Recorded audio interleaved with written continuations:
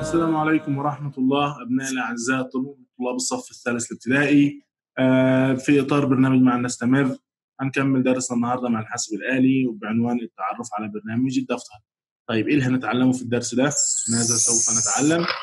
أول حاجة مفتاح الإدخال اللي هو مفتاح الإنتر نشوفه نتعرف عليه. الحذف والتراجع، التنقل عبر الحروف، والتنقل عبر السطور، وأخيرا التنقل عبر الصفحات. قبل ما نبدأ مع البرنامج لازم يكون مثلا معاك لوحة المفاتيح تعرف إيه هو الأزرار اللي هنتعامل معاه فقدامنا الزر الكبير ده هو اسمه Enter.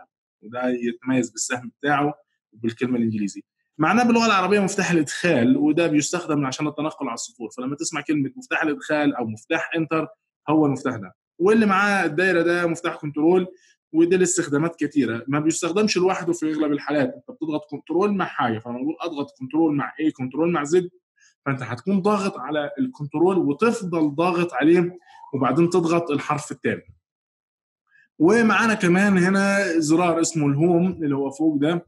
وال Home ده اللي هينقلنا لأول السطر أو أول الصفحة لما نضغط مع Control و End للنهاية. وعندي هنا زرار اسمه Delete وده للحذف وده Backspace هنعرف الفرق بين ال Delete وال Backspace عملي لما نتعامل مع الدفتر. فالنهاردة لازم تكون عارف Enter وال Control وال Home وال End وفي النهاية ال Delete وال Backspace وطبعا أدي الأسهم اللي هنتنقل بيها ده اللي فوق لتحت ويمين ويسار.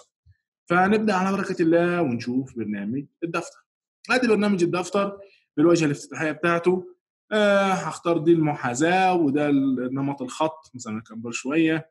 ومن هنا تقدر تختار نوع الخطوط اللي أنت عايزها. فنكتب كده مثلا بسم الله.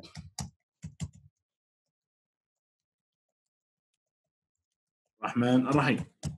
خلصت. عايز أنزل؟ هتدوس على الإنتر اللي قلنا عليه اللي هو مفتاح العالي لكن هو غالبا بي... مفتاح الإدخال ولكن هو غالبا بيتقال عليه مفتاح إنتر. فهتضغط إنتر فهتنزل سطر جديد.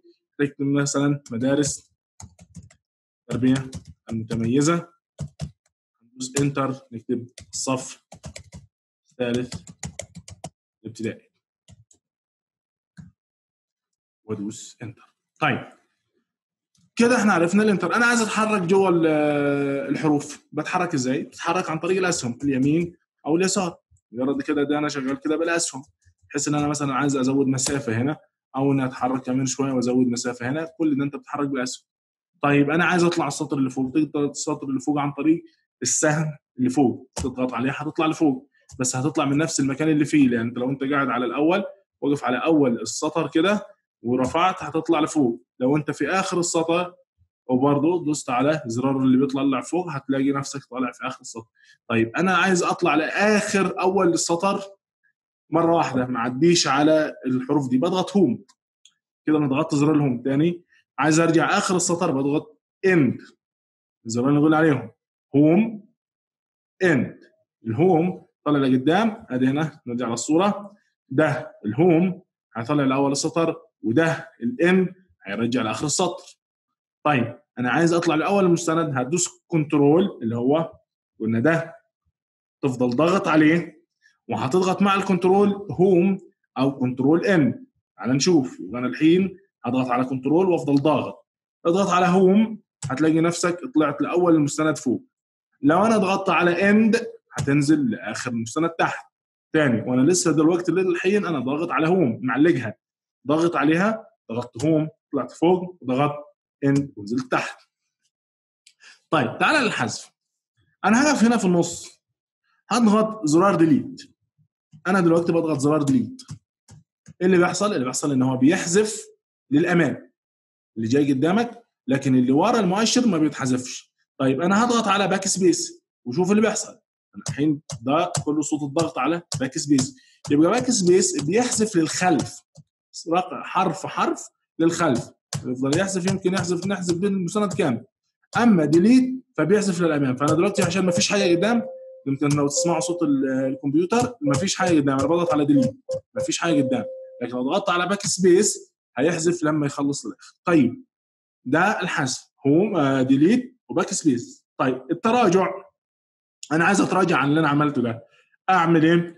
بتضغط على Control اللي قلنا عليها. تفضل ضاغط على Control وهتضغط على ال Z حرف ال Z بالإنجليزي. اضغط. كل ضغطة هتفضل ترجع ترجع ترجع للسطر طيب. طيب فرضنا مثلا أنا مش عارف أضغط على Control Z مش عارف Control Z في عندك هنا ده السهم ده للتراجع. اضغط تبتدي تراجع معاك. اضغط وتراجع معاك. طيب أيوه ده اللي أنا عايزها خلاص أرجع كده. يعني تراجع في تراجع للإمام وتراجع للخلف لغاية ما تشوف أنت عايز توقف فين وتوقف على كده. يبقى خدنا النهارده مفتاح الإدخال الحذف والتراجع التنقل عبر الحروف والتنقل عبر السطور والتنقل عبر الصفحات. واتعلمنا إزاي نتعامل مع زرار ال Enter وزرار ال Control وال Home وال End آه، وال Delete وال Backspace وعرفنا الفرق بينهم. أتمنى أن يكون درس النهارده سهل ومفيد وأتمنى أتمنى لكم التوفيق والنجاح. والسلام عليكم ورحمة الله.